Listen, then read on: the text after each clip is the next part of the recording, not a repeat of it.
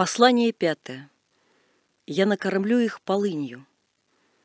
Устами пророка Иеремии сказал Господь о народе своем, за то, что они оставили закон мой, который я постановил для них, и не слушали гласа моего, и не поступали по нему, а ходили по упорству сердца своего и во след Ваалов, как научили их отцы их.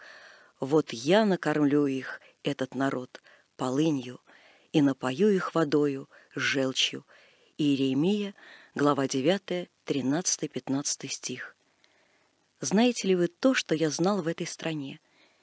Я знал одного человека, который совершил десять грехов. Он не верил в Бога, он поклонялся вымыслу, как богам, хулил и поносил имя Божие, бил родителей, в воскресенье не оставлял своих ежедневных забот — совершил убийство человека, прелюбодействовал, обкрадывал и друзей, и врагов, и церковь, и государство, лгал и лжесвидетельствовал, завидовал ближним и желал чужое сделать своим. Следовательно, он полностью попрал ветхозаветный закон Божий, разбил скрижали Моисеевы и поклонился золотому тельцу еврейскому. Эх, братья мои, как только вспоминаю я этого беззаконника, сразу же вспоминаю и другого, и еще сотню таких. Думаю, что и каждый из вас знает хотя бы десяток таких же грешников в своем окружении. Что же удивительного в том, что Господь оставил нас и предал мечу злейшего из земных народов? Излишне говорить, что не весь народ был таков. Конечно, не весь. Но и не все израильтяне — прелюбодействовали с женами медиамскими, а погиб весь народ. Погибло 24 тысячи человек. Хотите ли еще один пример? Когда Иисус Навин осваивал землю обетованную, один единственный человек согрешил близ Иерихона, скрыв несколько украденных вещей, но из-за его преступления в один день пострадало три тысячи воинов. И еще один пример. Вспомните, что произошло, когда филистимляне вернули ковчег завета израильтянам, и те обрадовались весьма, и от радости и любопытства открыли ковчег, и некоторые из них заглянули в него. Разве не читали вы, что из-за греха одного единственного человека, пророка Божия Ионы, едва не утонул целый корабль со многими путниками? Удивительно ли, что наш государственный корабль затонул из-за тысяч грешников, согрешивших тяжелее пророка? Не напоминайте мне Содом и слова Божии, сказанные праведному Аврааму, когда Авраам спросил Господа, уничтожит ли он грешный Содом, если найдет в нем десять праведников, ответил ему Господь, что не уничтожит, но ради десяти праведников пощадит. Вы говорите, в сербском народе было больше десяти праведников. Почему же Господь не пощадил нас? Зачем искушаете меня?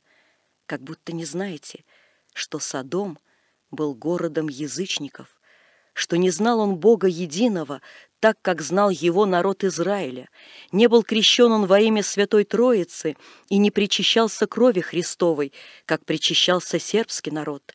Разница, как между небом и землей потому тот, который праведно судит, хотел сохранить Содом ради десяти праведников, но не хотел сохранить ни Израиль ради десяти тысяч, ни сербов ради сотен тысяч праведных душ. Ибо содомляне ничего не знали о едином истинном Боге, евреи узнали о едином Боге от пророков и благодаря множеству чудес, а сербы узнали о Господе, явленном в мире в свете лица Господа Иисуса Христа – по мере познания и мера наказания. Оставим же тяжбы с Господом и с признанием искренним и в покаянии сокрушенно воскликнем «Праведен еси, Господи Боже наш, и праведно сотворил еси, что нас, сербов, накормил полынью и напоил желчью, ибо многие из нас попрали Твой святой закон, словно он какая-то закорючка парламентом написанная, и не просто попрали его однажды, но попирали двадцать лет пред лицом неба и земли, и многие забыли о тебе, о Господе, Отец наших, Боге святых наших царей и патриархов, постников и молитвенников, страдальцев и мучеников, и ходили по упорству сердца своего, умершвленного телесными страстями и дьявольскими обольщениями.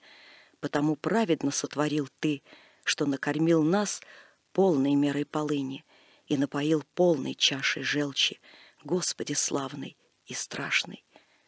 А теперь сокрушенно молимся Тебе, Господи, пощади остаток народа своего, да не посмеются над нами, над Тобою еретики и язычники, говоря в суе, где же этот Бог сербский? Почему не поможет сербам сейчас? Почему не освободит их от нас, если Он сильнее? И где тот святой Сава сербский? Почему не защитит Он сербов, если они его так любят и величают? Из Твоей десницы, Господи святый, Снова примем мы полыни, желчь, но не предай нас в руки человеческие. Помози нам, Господи, помози нам исправиться и чисто послужить Тебе.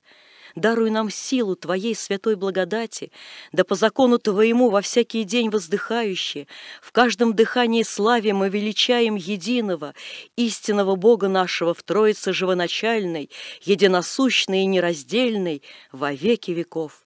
Аминь.